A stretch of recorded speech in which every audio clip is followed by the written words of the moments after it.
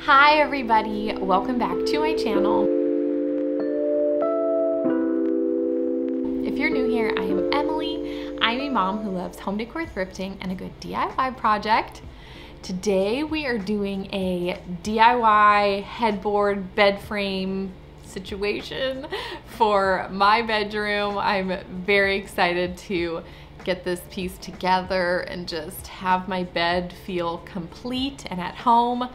I love being in my bed. I'm excited and I cannot wait to take you guys along for this journey. But before we really jump into things, if you're not already, feel free to follow me on Instagram at EmilyFaith22. Make sure you guys subscribe. We have a new series around here called Rental Made Home and I'm just kind of week by week making over things in our new rental. You guys seem to be loving it so far, so make sure you subscribe, hit that bell notification if you guys want to continue following along as we make over this rental. If you like this video, give it a thumbs up. That helps me out. Maybe share it with a friend. All these things really help out my channel. Comment down below, say hi, let me know if you enjoyed this DIY. Okay, let's jump right on into things. To start, I have been browsing Pinterest for the last couple months. Came across a handful of these just fabric bed frames. They often look like linen, just these headboards that look cushy and I don't know. I just, I loved them and I really wanted to make one. But of course, bed frames and headboards, they're expensive. That's kind of a big purchase to make. And so I really just wanted to see if I could do this on a budget. There's kind of a handful of people who have done DIY similar that I kind of just like meshed into one to do this. My real life friend did something really similar to this. So I kind of originally saw the idea from her.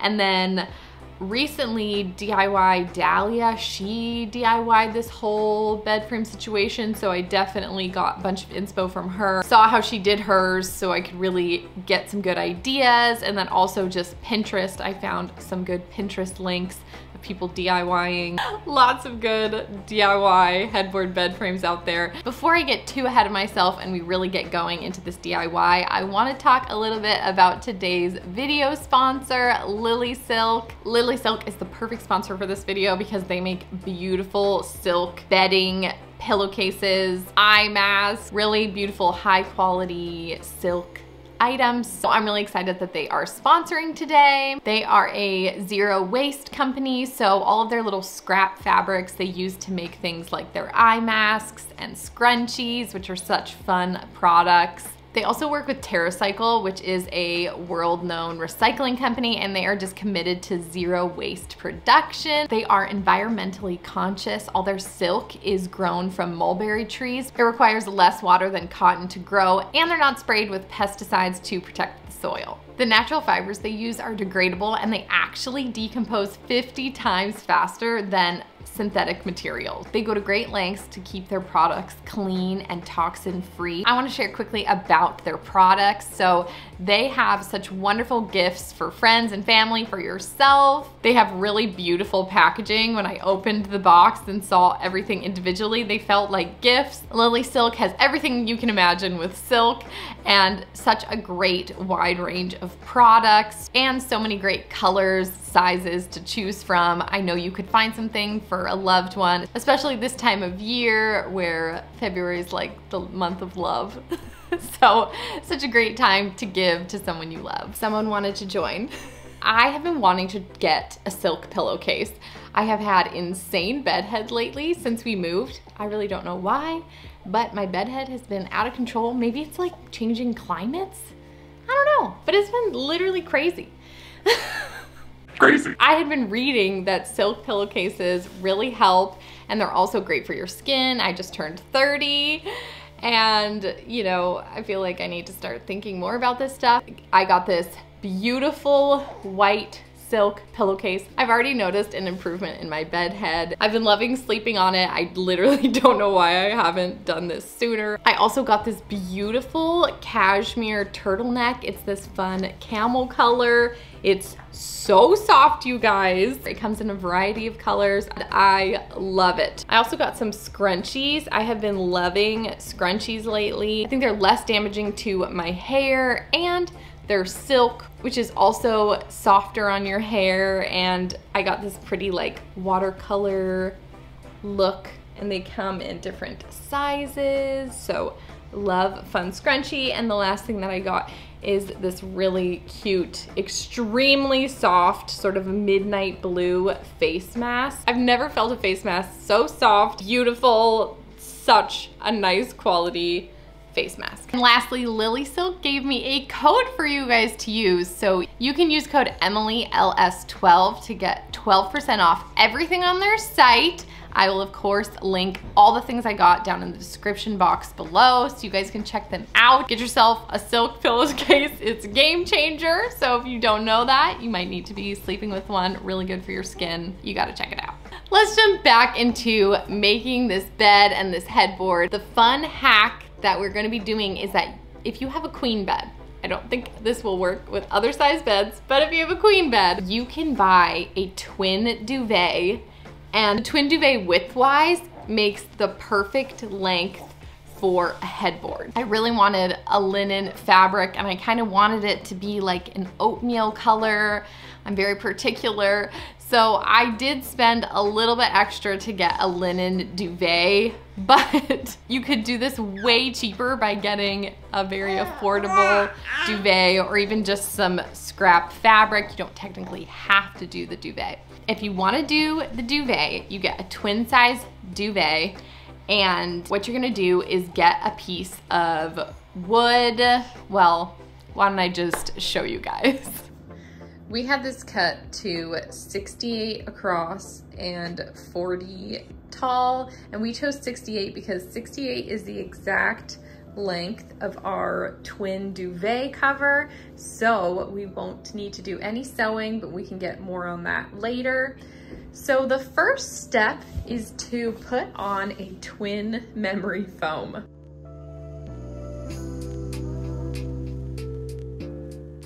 I'm not too sure that the hot glue did anything, but that's okay. You could also use some adhesive spray. I think that's what you should really use and then it would just be stuck on, but I think it will be okay because now I'm going in with this piece of batting. And by the way, both of these I got off of Amazon. I can link them down below for you. We're gonna go in with this batting and staple gun it to the back.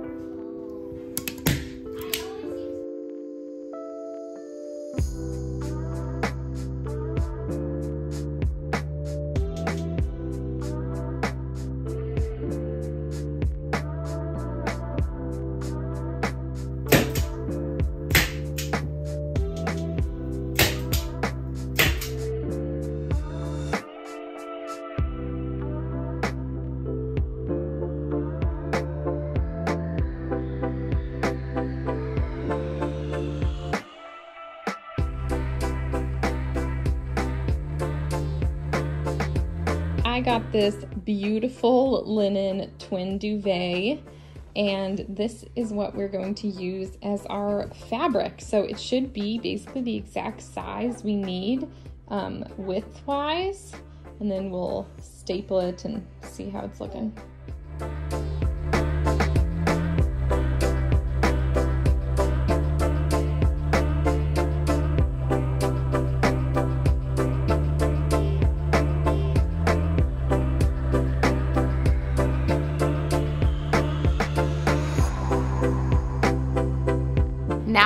Headboard is made, we ran into a little bit of an issue there. It was a little bit tighter fit. If I would do this again, I would have cut the wood one inch shorter than the duvet or even a half inch shorter, but I didn't realize and so we made it work, but it definitely was tight.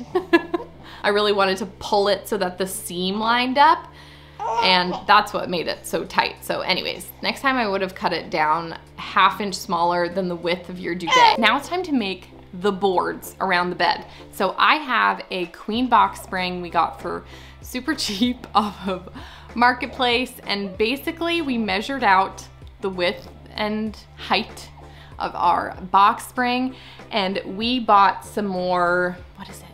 What is it called?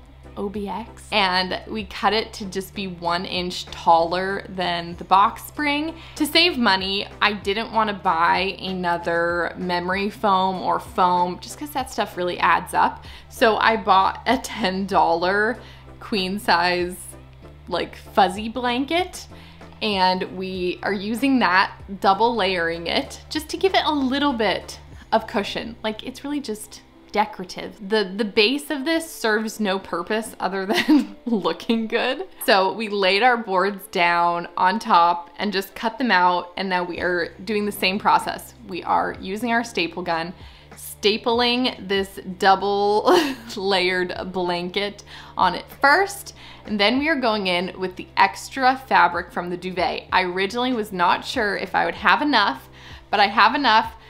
I will say it is a smidge short. So I'm like two inches short. So I have to, at one of the ends, probably the foot of the bed where we won't see as much, I have to overlap some fabric. I should have properly cut the duvet off of the headboard. I should have just done it separately and measured it out and made sure that I would have enough, but you know what? I didn't. so I'm, I'm literally like two inches shy of having enough fabric. Anyways, I'm making it work. I don't think you'll really notice or see it, but I'm just, you know, keeping it real. Then we're gonna go in with our extra twin duvet fabric and staple that over top. The last step is we got these big L brackets from the hardware store. We're simply using them to secure the boards together. And again, the bed is safe and sound on the box spring, so really this isn't structural, but we don't want these boards falling over, so we wanted to put them together. And we just used a scrap fourth piece of wood at the back that you won't see, but then it kind of will all stay together. I wanted to show you guys where I overlapped the fabric. It's really not even, it almost just looks like a wrinkle. So that kind of worked out. Our gorgeous jute rug is from Loloi. I can link it down below for you guys. Okay guys, here is what my bed looked like before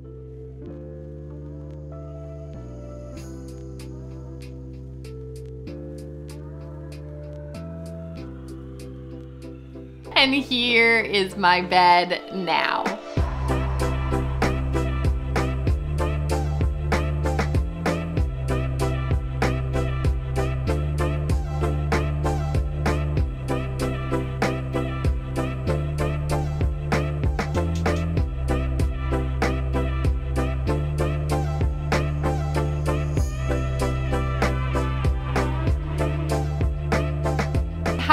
Great did that turn out? And it was actually so easy. The staple gun sometimes gives me some struggles, but I loved this project. I love how simple it is and it got the look that I wanted for a lot less money. It did still kind of add up, but it was still more affordable than buying kind of my dream headboard bed frame situation. The one thing that's like super killing my vibe right now in my room is that we haven't painted yet and our wall color is very similar to this fabric and I am not digging it. So I cannot wait till we have white walls. I like that it doesn't really stand out, but I want it to at least not just like look like part of the wall. So stay tuned.